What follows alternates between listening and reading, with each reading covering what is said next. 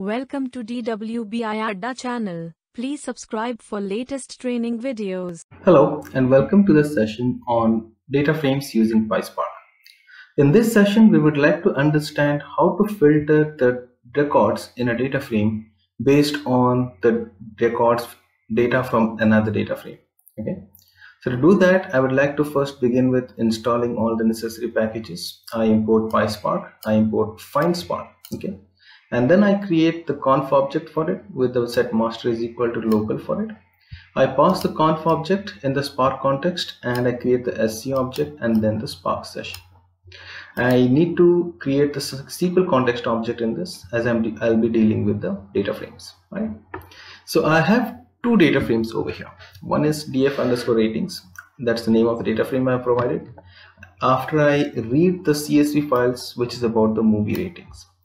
After I do a dfratings.show, it gives me four columns, user ID, movie ID, rating, and the date. So it's about the rating given by a user for a particular movie in a particular date. Okay. I have another data frame uh, which is about the premium uh, movies. So I have three movies listed over here. It can be more than that as well. So I just import the CSV file and I create another data frame called df underscore premium. Right.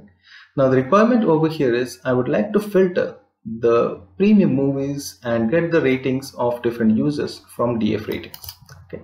The premium movies are listed in the data frame DF underscore premium and I'm supposed to perform a lookup in it. So now to do that, I can do it in many methods. I'll be talking about two of the methods over here. The first one I'll be talking about is to make the list of the movie IDs present in the DF underscore premium. Okay. So to do that, I would run a flat map, which will run through all the records in the data frame df underscore premium and extract the movie IDs out of it and make a list. If I print the pre prm underscore mv underscore list, it gives me the list of the movie IDs. Okay.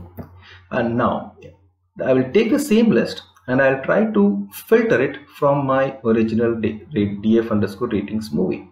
So I do a df underscore ratings dot filter, okay, and I give the condition where call move id is in prm movie list, which is nothing but the list I have created based on the data from the other table.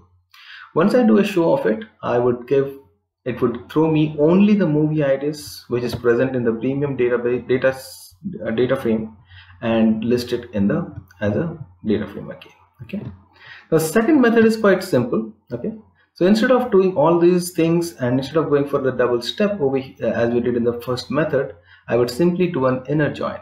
Okay, so to do that, it's just like an inner join which we perform in the RDBMS tables. Okay, so I'll do a join and I provide the name of the data frame. It is df underscore premium, and I give the column on which it wants to join and the type of join. Over here, it will be inner because I want only the common columns. Okay, but the thing is, it will give me an additional column, the movie name as well, which can be a good information and might be sometimes headache if you don't want it.